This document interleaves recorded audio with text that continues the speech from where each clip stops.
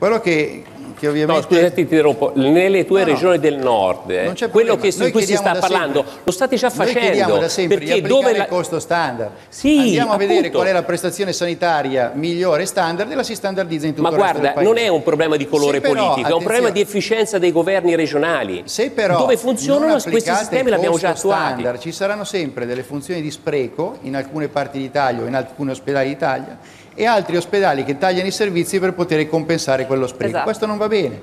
L'altra questione sulla quale bisogna essere chiari è qual è il livello minimo di prestazione sanitaria, perché se ai cittadini dici guarda vai dal medico, però se vai oltre la sesta volta banalmente ti paghi tu le spese sanitarie, attenzione perché scarichiamo sui cittadini le responsabilità che devono essere invece di chi deve fare le scelte sulle prestazioni sanitarie. Ultima cosa, ma non ultima, attenzione ai costi della politica riguardo anche alle gestioni poi sanitarie, perché in questo Paese oggi stiamo pagando centinaia di milioni di euro per prestazioni sanitarie a favore di stranieri, clandestini nel caso specifico, che vengono poi spalmate su tutto il resto della collettività. E l'Unione Europea non interviene per queste spese. Solo in Regione Lombardia arrivano a 400 milioni di euro. Queste Allora, sono spese.